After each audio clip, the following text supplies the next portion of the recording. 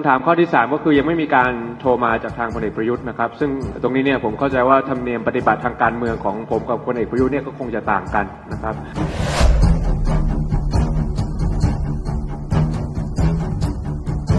ซึ่งในขณะเดียวกันวันหนึ่งถ้าผมเป็นนายกรัฐมนตรี และมีการเลือกตั้งในข้างหน้า แล้วถ้าเกิดผมแพ้การเลือกตั้ง ภายในผลการเลือกตั้งนั้น ผมก็ต้องเป็นคนโทรไปหาผู้ชนะ แล้วก็ยอมแพ้ วันนี้ผมในเศรษฐาทวีสิน รู้สึกเป็นเกียรติอย่างยิ่ง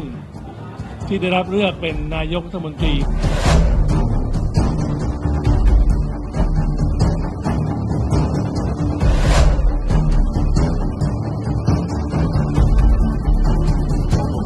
เรียกได้ว่ากลายเป็นประเด็นที่กำลังมีการพูดถึงกันมากในโลกออนไลน์ขณะนี้ครับผู้ชมครับภายหลังจากที่ประชุมรัฐสภาเมื่อวันที่ 22 สิงหาคมที่ผ่านมา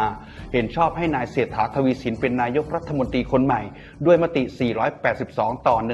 165 ในจำนวนนี้ครับเป็นคะแนนจากสวถึง 100 52 เสียง และยังมีสสพักประชาธิปัตย์ 16 เสียง แหกมติพักตัวเองมาร่วมโหวตสนับสนุนแคนดิเดตนายกรัฐมนตรีจากพักเพื่อไทยด้วย นายเศรษฐาวัย 61 ปี ได้รับแรงสนับสนุนจาก 11 พักการเมืองร่วมจัดตั้งรัฐบาลให้เป็นนายกรัฐมนตรีคนที่ 30 ของประเทศไทย โดยไม่มีการเสนอชื่อแคนดิเดตนายกรัฐมนตรีจากพรรคอื่นเข้าแข่งขัน ในระหว่างการประชุมร่วม 2 สภาเพื่อโหวตเลือกนายกรัฐมนตรีรอบที่ 3 ตามที่เสนอข่าวไปแล้วนั้น ความเคลื่อนไหวล่าสุดครับผู้ชมครับในโลกโซเชียลครับก็ได้มีการขุดคลิปครั้งที่นายพิธาลิ้มเจริญรัตน์หัวหน้าพรรคก้าวไกลครับ เคยได้ให้สัมภาษณ์ถึงกรณีพลเอกประยุจันทร์โอชา ยังไม่ได้ติดต่อมาแสดงความยินดี ซึ่งเข้าใจว่าธรรมเนียมปฏิบัติของตนและพลเอกประยุทธ์คงจะแตกต่างกัน แต่เมื่อผลการเลือกตั้งออกมาแล้วพักร่วมต่างก็โทรมาพูดคุยเพื่อแสดงความยินดี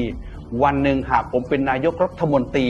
และหากแพ้การเลือกตั้งในครั้งหน้า ผมก็จะต้องโทรไปหาผู้ชนะเพื่อยอมแพ้ และให้การเปลี่ยนแปลงของรัฐบาลไร้รอยต่อมากที่สุด โดยเอาประชาชนเป็นที่ตั้งถามข้อที่ 3 ก็คือยังไม่มีการโทรมาจากทางพลเอกประยุทธ์นะครับ ซึ่งตรงนี้เนี่ยผมเข้าใจว่าธรรมเนียมปฏิบัติทางการเมืองของผมกับพลเอกประยุทธ์เนี่ยก็คงจะต่างกันนะครับ ถ้าเป็นในพักแปดพักนี้นะครับเมื่อ มีผลเลือกตั้งออกมา มีฉันทานุมัติจากประชาชนมาแล้วนะครับ ก็มีการโทรพูดคุยกันนะครับ แสดงความยินดีกับผลการเลือกตั้งของหัวหน้าพักแต่ละคนที่ประสบความสำเร็จนะครับ ในขณะเดียวกันก็มีการโทรมายินดีกับผมนะครับว่าที่ได้มาเป็นอันดับหนึ่ง เพราะฉะนั้นเรื่องนี้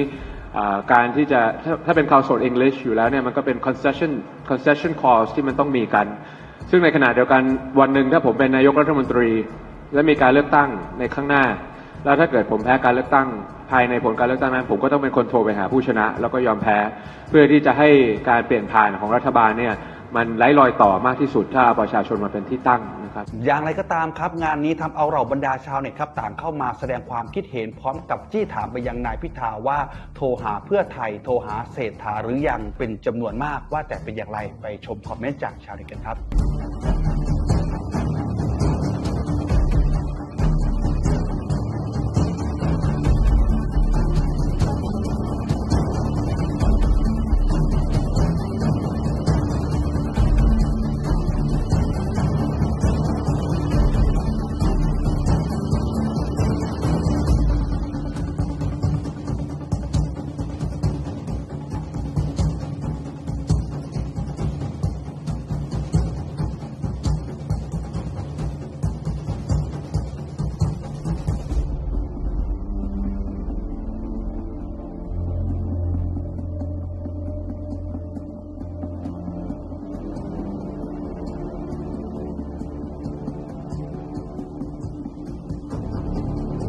เปิดเรื่องลึกล้วงข่าวลับ รู้ก่อนใคร เสิร์ฟให้ถึงมือคุณในทุกๆวันกับ Top Exclusive พิเศษสมัครสมาชิกวันนี้ แบบรายปีจาก 1,800 บาท เหลือเพียง 1,500 บาทเท่านั้น สมัครได้แล้ววันนี้โทร